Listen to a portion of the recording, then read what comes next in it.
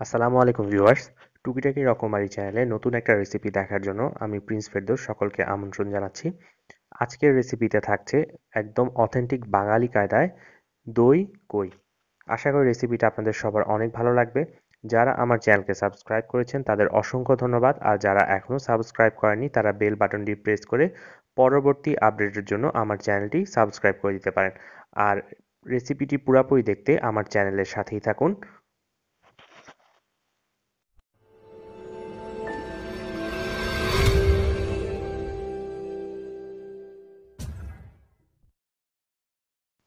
আমি এখানে মাঝারি আকারে ছয়টা কই মাছকে এভাবে একটু চিড়ে নিয়েছি। এখন কই মাছগুলাকে পরিমাণ মতো হলুদ এবং পরিমাণ মতো লবণ দিয়ে মাখিয়ে এটাকে ম্যারিনেট করে রাখতে হবে। কই মাছগুলোকে একটু ভালো মতো মাখাবেন এবং যে খাঁচ কাটা হয়েছে সেখানে ভালো মতো লবণ এবং হলুদটাকে ঢুকতে দিবেন। এভাবে ম্যারিনেট করে আমি রেখে দিব আধা ঘণ্টার জন্য।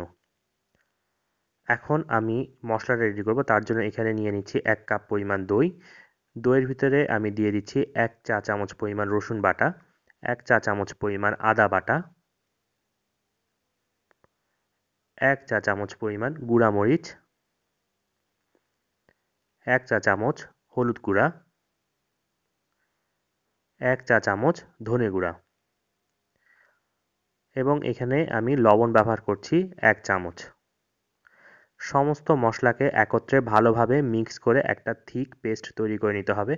অনেকেই বলে থাকেন যে টক দই তরকারিতে দিলে তরকারিটা অনেকটা ছ্যাঁকড়া ছ্যাঁকড়া হয়ে যায়।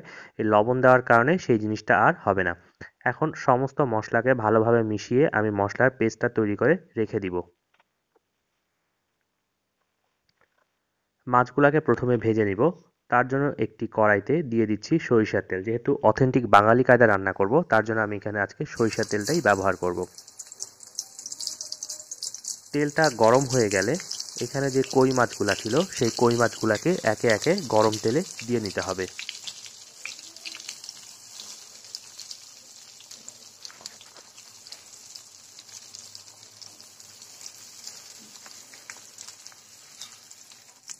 প্রথম অবস্থায় কই মাছগুলা খুবই নরম থাকবে, তাই এটাকে চামচ দিয়ে উল্টানোর কোনো দরকার নেই, কড়াইটাকে একটু ঘুরিয়ে ঘুরিয়ে মাছটাকে ভাজতে থাকবেন।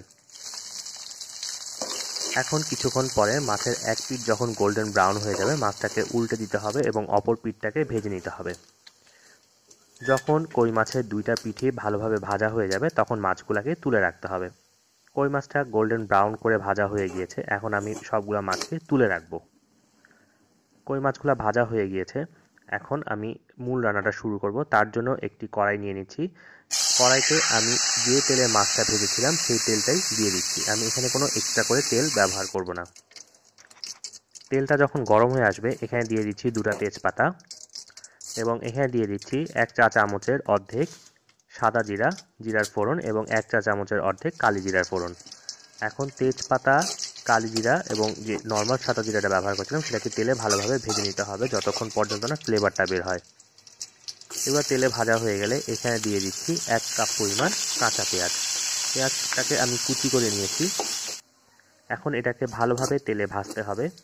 তেলে যখন ভাজা হয়ে যাবে এবং পেঁয়াজটা নরম হয়ে যাবে, এই পর্যায়ে যে দইয়ের ভিতরে মশলার মিশ্রণটা রেডি করে রেখেছিলাম, সেই দই সহ মশলার মিশ্রণটাকে পেঁয়াজ এবং জিরার ফোড়নের ভিতরে আমি দিয়ে দিব। এখন এটাকে ভালোভাবে নেড়ে নিয়ে কষিয়ে নিতে হবে।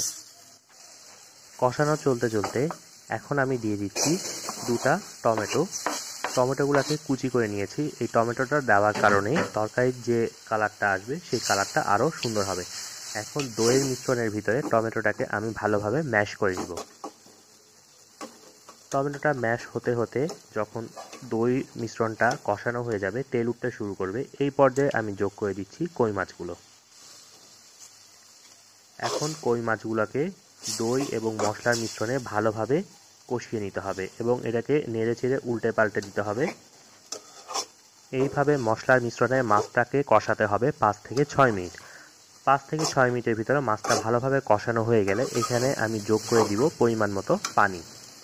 পানিটা আপনি যে পরিমাণ ঝোলের ঘনত্ব চান, সেই পরিমাণে যোগ করতে পারেন। আমি এখানে এক কাপ পরিমাণ পানি যোগ করে দিচ্ছি।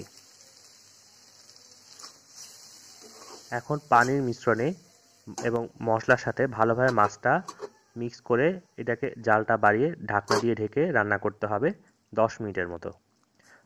এই পর্যায়ে চুলার আঁচটা মিডিয়াম আঁচে রাখবেন। দশ মিনিট পরে ঢাকনা তুলে এখানে যোগ করব আস্ত কাঁচামরিচ। এবং এটাকে ঢাকনা দিয়ে আরও তিন থেকে চার মিনিট ফ্লেভারের জন্য রেখে দিব। তিন থেকে চার মিনিট পরে কাঁচামরিচের খুব সুন্দর একটা ফ্লেভার বের হতে থাকবে এবং ঝোলটাও বেশ ঘন হয়ে আসবে। এই পর্যায়ে আমি চুলাটাকে অফ করে দিব। তৈরি হয়ে গেল অথেন্টিক বাঙালি কায়দায় দই কই রেসিপি গরম ভাতের সাথে খেতে খুবই মজা লাগে। আশা করি আপনারা বাসায় একবার হলেও ট্রাই করবেন এবং ট্রাই করে কেমন লেগেছে সেটা আমাকে কমেন্টে জানাবেন। আজকের মতো এখানেই বিদায় নিচ্ছি। অসংখ্য ধন্যবাদ।